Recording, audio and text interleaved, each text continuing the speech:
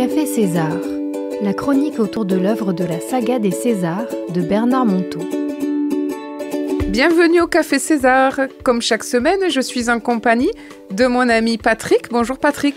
Bonjour Myriam, bonjour à toutes, bonjour à tous. Patrick Fijac, bien sûr, pour ne pas le citer. Et je suis également en compagnie de Christian. Christian Moulier. Bonjour Christian. Bonjour Myriam. Alors cette semaine, comme chaque semaine, nous allons nous plonger dans une histoire de César, ce vieux César qui nous apprend toujours quelque chose et dont les aventures avec Jacques réveillent un petit peu nos, nos questions. Alors l'histoire d'aujourd'hui s'appelle À quoi sert l'art? C'est une histoire qui va parler de l'art. Il arriva qu'un jour, Jacques était là, quand Antoine, le gentil voisin de César, avait apporté un beau paysage peint par ses soins en l'honneur du vieil homme. Jacques ne put s'empêcher de trouver particulièrement laide cette peinture infantile, mais la gentillesse du geste l'obligeait tout de même à une certaine réserve.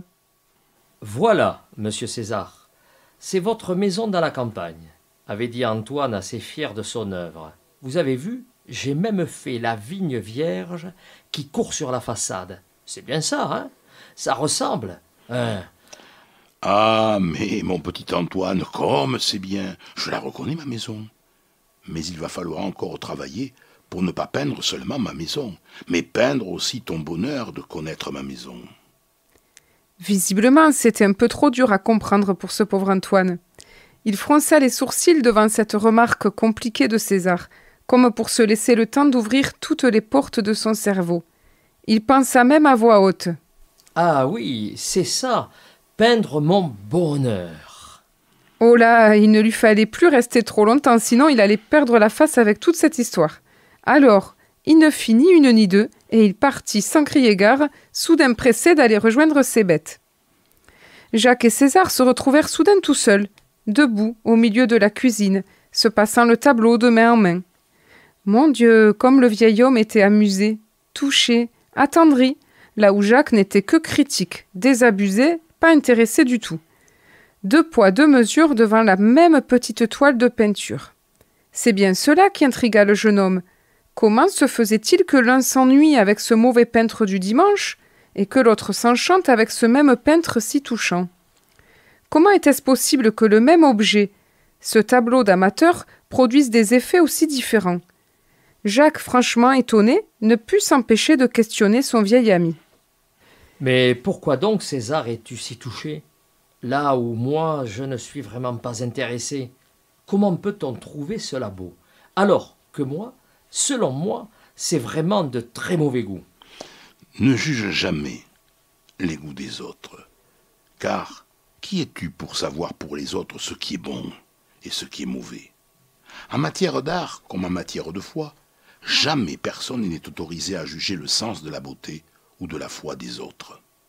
Oh là, le gros coup de patte du vieil ours n'est pas passé très loin. Pensa Jacques en cherchant à comprendre où était la gravité du moment. Il lui fallut se reprendre, revenir à l'essentiel pour que soudain une autre curiosité apparaisse. Je comprends, César, commença-t-il par convenir en signe de paix. Je m'interroge alors sur la place de l'art dans la vie humaine. À quoi ça sert, l'art, pour chacun de nous fit le vieil homme en guise de réponse. Puis il prit tout son temps pour continuer, comme pour monter plus haut dans son cœur, pour chercher les mots rares qui n'existent qu'à partir d'une certaine altitude. Vois-tu, mon Jacques, le peintre fait la toile. Mais la toile fait aussi le peintre. Elle le fait inspirer ou non? Et si elle le fait homme inspiré, alors elle produit le meilleur de l'homme. Mais la toile fait aussi le spectateur, l'amateur d'art. Elle le fait inspirer ou non. Si elle le fait amateur d'art inspiré, c'est encore le meilleur de l'homme.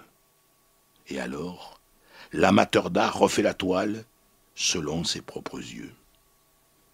Il y eut un long silence, un très long silence, comme si chacun digérait ce concentré de mots, cet élixir de sens, ce parfum d'essentiel. Mais César crut bon de conclure. L'art, au fond, cela ne sert qu'à une seule chose, créer l'homme inspiré. Car l'homme inspiré, c'est l'avenir de l'homme. Ou bien, l'homme n'aura pas d'avenir. Et voilà, encore une belle leçon. Belle leçon, je ne sais pas si le mot est juste. Une belle histoire, en tout cas, sur l'art, le sens de l'art. Qu'est-ce que vous en pensez tous les deux? Et vous, chers auditeurs, de votre côté, est-ce que qu'est-ce que l'art euh, a comme sens pour vous? Quelle est l'importance de l'art dans votre vie? Euh, Écoutez, si on peut, à titre personnel, l'art, c'est le sens profond de l'expression de la création. La création de l'individu, d'un homme ou d'une femme, qui va euh, avoir une expression, une vision différente ou en accord, et qui va l'exprimer de différentes matières par la matière de la peinture, par la matière euh, du bronze ou de la terre glaise, par la matière de la musique, par la matière des paroles et des textes du poème.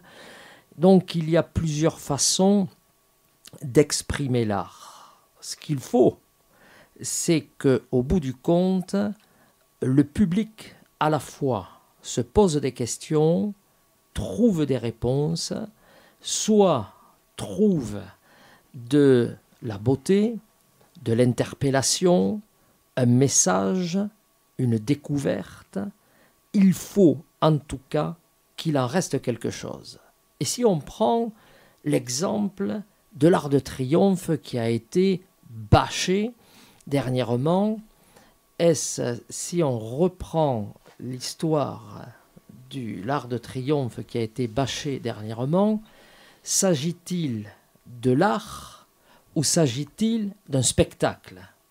Moi, je verrais beaucoup plus ceci comme un spectacle éphémère sur une, un objet historique qu'est l'art de triomphe, mais je ne vois pas ça de l'art, car il n'y a pas une création sinon d'envelopper des bâtiments immenses avec des tissus, même si c'est très joli au final mais c'est un spectacle.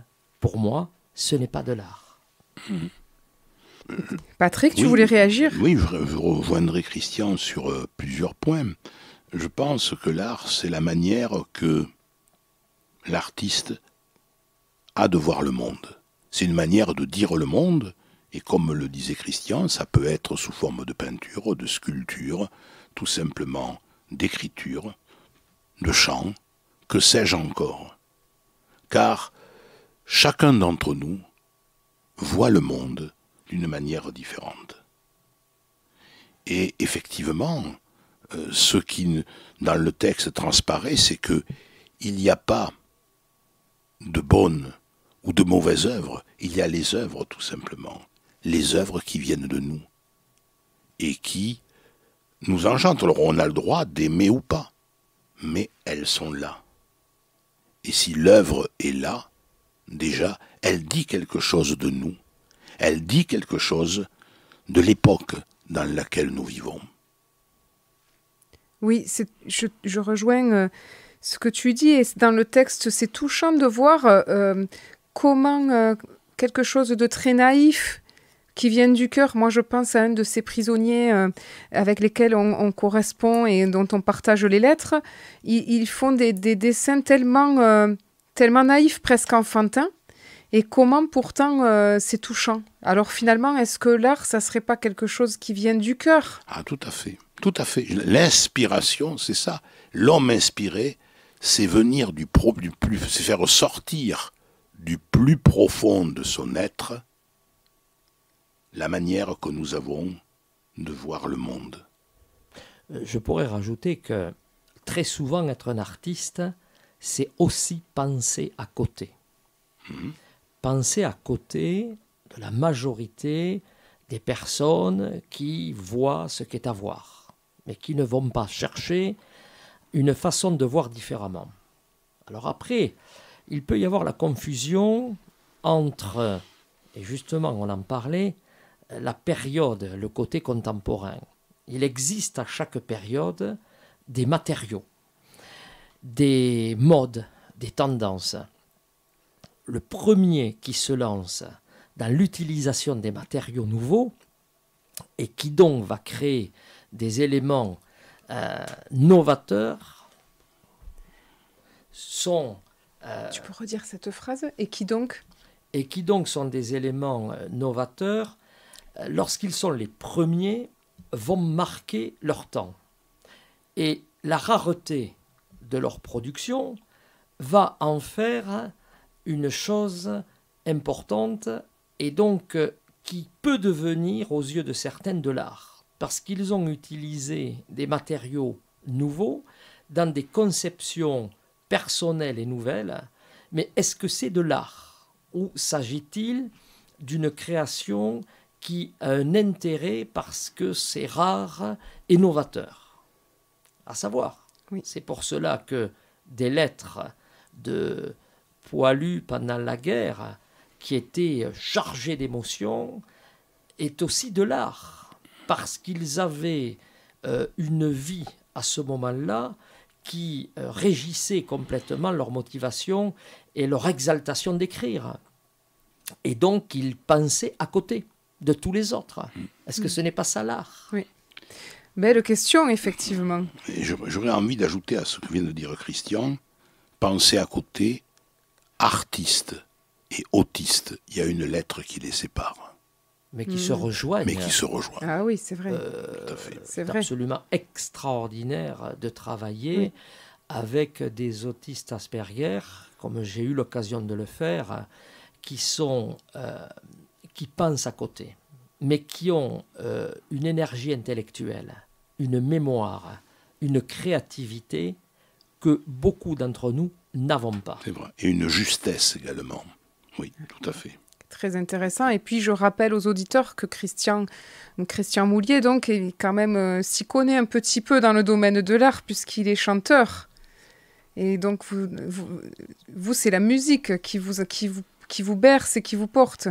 Oui, j'avais eu l'occasion il y a de nombreuses années, euh, comme je fais de la photographie depuis longtemps, j'avais été contacté par le centre de Boissor à Luzèche, qui euh, créait euh, déjà à l'époque avec un accordéoniste formidable, M. Sico, qui faisait l'apprentissage de la musique à des enfants trisomiques ou des enfants handicapés mentaux et donc, il m'avait demandé euh, de faire un premier reportage pour une revue, un magazine qui s'appelait Épanouir, dont j'ai eu l'occasion de faire toutes les photographies euh, en noir et blanc, très contrastées, avec euh, les gestes, les mouvements, le regard, les attitudes de ces enfants sur des tambours, sur des tam-tams, en accompagnant les rythmes. Et donc j'ai fait une série de photos. J'ai même signé l'article que l'on peut retrouver euh, dans le magazine Épanouir. Et tellement bien que le directeur, M.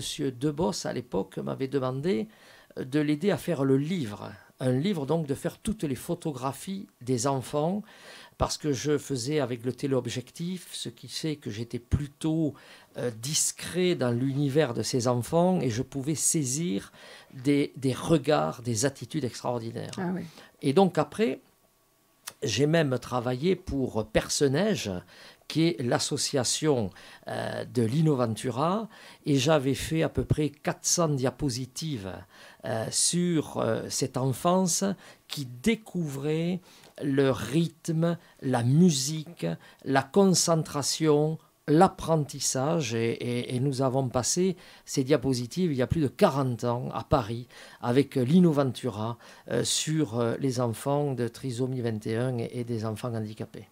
Et oui, donc en fait, vous êtes en train de nous dire que il y a euh, beaucoup de formes d'art. La photographie, c'est un art aussi. Oui, c'est qui vous intéresse. Alors c'est devenu un art après avoir été euh, euh, une arme de guerre, hein. parce qu'en fait vous savez que les, peintres au 19e siècle n'ont pas du tout apprécié l'arrivée de la photographie couleur, parce que jusqu'à la photo noir et blanc on faisait du portrait, mais la photo couleur a été là une concurrence terrible pour les peintres.